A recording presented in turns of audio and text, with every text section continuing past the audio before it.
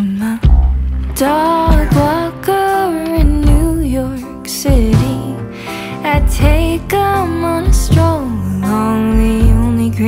Az eltehetológia tanszékén egy csomó izgalmas kutatás zajlik. Például az, hogy hogyan reagálnának a robotok a kutyák jelenlétére.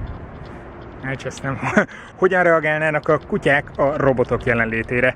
Viszont mivel ezek a kísérletek mindaddig, amíg az eredmények nem jelennek meg, nem válnak publikussá, meglehetősen titkosak, ezért nehezen lehetne kideríteni, hogy mi zajlik odaben, viszont nekem van egy mestertervem.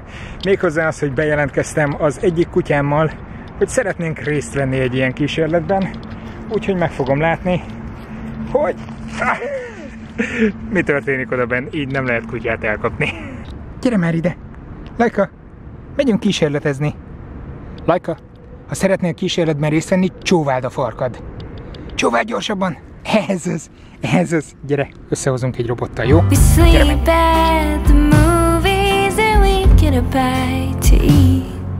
We roll around the subway to the street.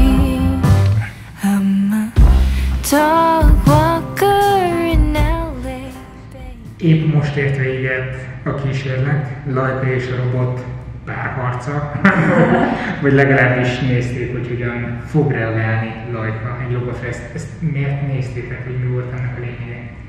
Igazából arra vagyunk kíváncsiak, hogy uh, a tesztben két robotunk van, és az egyik úgynevezett élő robot, a másik pedig egy élettelen robot, és mindössze annyi a különbség benne, hogy az egyiknek a mozgásában olyan tulajdonságokat hagyunk meg, amik automatikusan kiváltják az emberből az élőként való észlelést, míg a másikból ezeket a részeket kivesszük, és egész egyszerűen megnézzük, hogy melyiket preferálják a kutyák, illetve a macskák, melyik érdekli őket jobban, és a végén pedig még találkoznak is testközelből a, a robottal, amikor azok különböző módon csak úgy mozognak össze-vissza a szobába, és megnézzük, hogy mit szólnak hozzá. We climb up to the Hollywood sign and we cry out to the sea.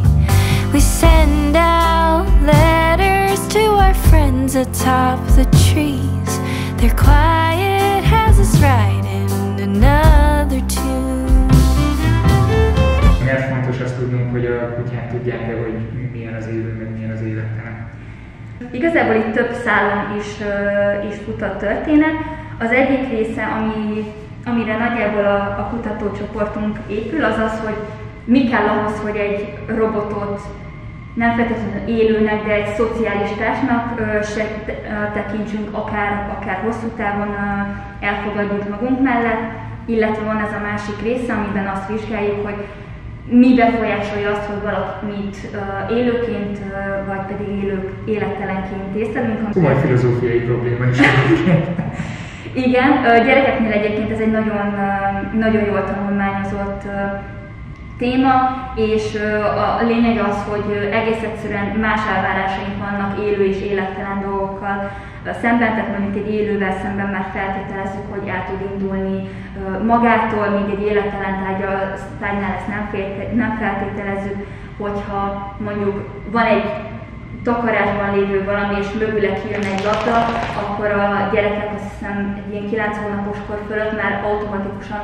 feltételezik, hogy ott az eldugott részen kell lennie egy élő lénynek, például egy embernek, mert a labdák maguktól nem mozognak, és például ilyen helyzetekben nézzük, hogy elvárják-e azt, hogy egy robot így viselkedjen, vagy úgy viselkedjen, vagy egész egyszerűen nem, nem értik, hogy ez hogy mozoghat magától, és ennek a, ezekben a tesztekben. Most ennek a, a minimál szintjére vagyunk kíváncsiak, hogy mik azok a minimális dolgok, amiket be kell tennünk egy robotba ahhoz, hogy bármiféle interakció kialakuljon. Lehet megjelentkezni hozzátok kísérletre? Igen, igen, több, több tesztünk is. Uh, fut, uh, Facebookra általában ki szoktuk tenni, hogyha ha éppen van, de van, fut, ez a kiskutyákkal lehet akár erre a tesztre is jönni, illetve nagyobb kutyákkal lehet más robotos tesztre is jönni. A linket megtaláljátok a leírásban. I'm a dog walker in my own little street.